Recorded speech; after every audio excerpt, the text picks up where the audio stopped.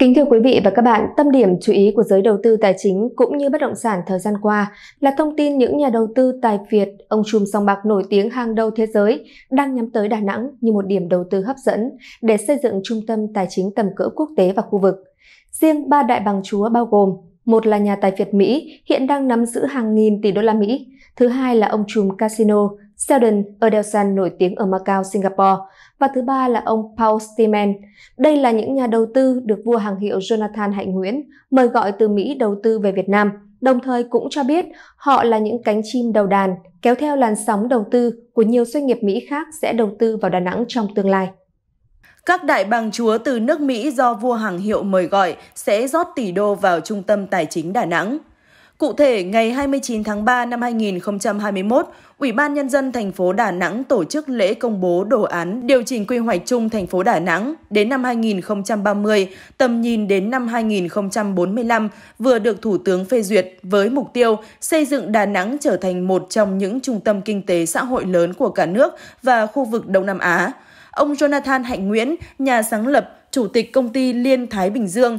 IPPG khẳng định sẽ cùng thành phố Đà Nẵng hoàn thiện đề án xây dựng trung tâm tài chính quy mô quốc tế và khu vực. Theo vua hàng hiệu, trung tâm tài chính ở Việt Nam hình thành sẽ có những đại bàng chúa nắm giữ các nguồn tiền hàng nghìn tỷ đô la Mỹ. Khi các đại bàng chúa đã vào làm tổ thì tự động các bồ câu, đại bàng con sẽ bay về,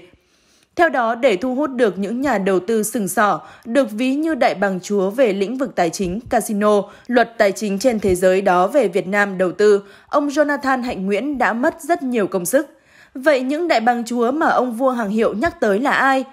Được biết, họ đều là những tên tuổi kỳ cựu trên thị trường đầu tư toàn cầu do ông Jonathan Hạnh Nguyễn mời gọi từ Mỹ đầu tư về Việt Nam – Đặc biệt, vị doanh nhân này còn cho biết ông có ba người bạn cũng từ phía Mỹ là những tỷ phú, những đại bàng trong lĩnh vực tài chính thương mại, vui chơi giải trí và ông sẽ là cầu nối giữa họ và chính phủ Việt Nam, đặt nền móng cho những dự án chiến lược tại Đà Nẵng. Riêng ba đại bằng chúa mà Chủ tịch IPPG đề cập là một nhà tài phiệt Mỹ, thứ hai là ông trùm casino Sheldon Adelson, nổi tiếng ở Macau, Singapore, và thứ ba là ông Paul Stillman, giám đốc điều hành Stillman Partner, công ty kiến trúc quốc tế của Mỹ.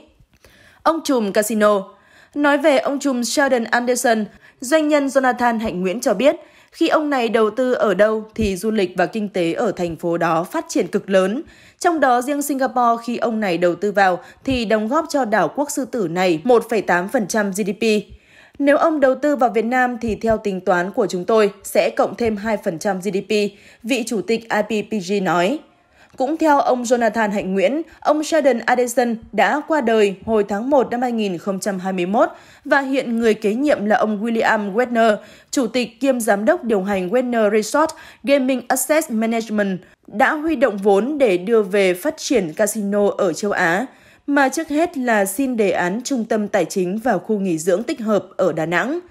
nói về các khu tổ hợp, tổ hợp khu kinh doanh, nghỉ dưỡng kết hợp casino do nhà tài phiệt này đầu tư, toàn là dự án đẳng cấp thế giới như Marina Bay Sands ở Singapore, Venetian ở Las Vegas và Macau, casino ở Manila, Philippines và Bahamas. Ông William Wedner cho biết, Chúng tôi tự tin rằng mình có đủ khả năng mang những khoản đầu tư giá trị hàng triệu đô la Mỹ đến thành phố Đà Nẵng với dự án xây dựng khu nghỉ dưỡng kết hợp với trung tâm tài chính. Không chỉ vậy, chúng tôi quan tâm tới việc có thể tiếp tục mời gọi thêm hàng tỷ đô đầu tư vào Việt Nam khi thiết lập những trung tâm tài chính khác.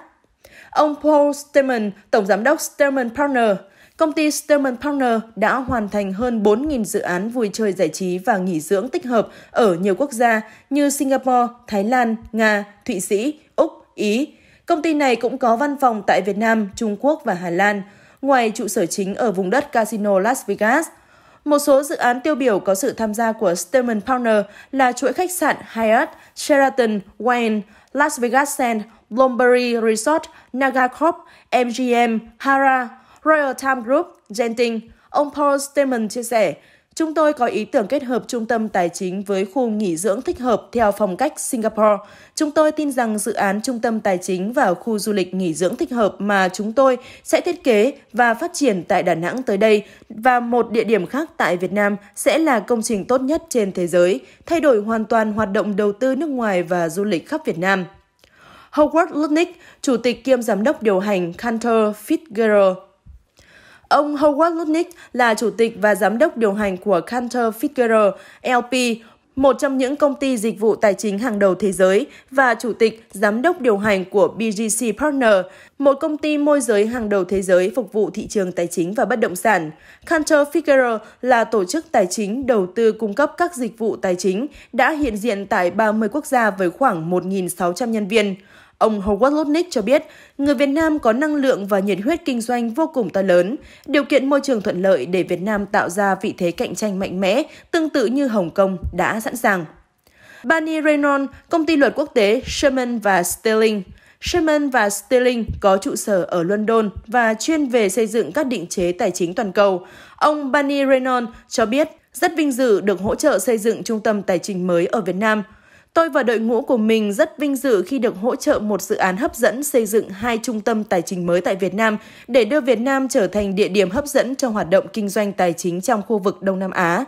Ông Jonathan Hạnh Nguyễn kỳ vọng trong tương lai không xa, Đà Nẵng sẽ trở thành thành phố tài chính, du lịch, vui chơi giải trí đẳng cấp, sánh ngang tầm khu vực và thế giới, góp phần phát triển đất nước Việt Nam ngày càng hùng cường – theo Chủ tịch IPPG, tập đoàn dự kiến sẽ đầu tư nhiều dự án mang tính liên hoàn tại Đà Nẵng với tổng giá trị hơn 8 tỷ đô la Mỹ. Nổi bật là dự án trung tâm tài chính khu vực tại quận Sơn Trà.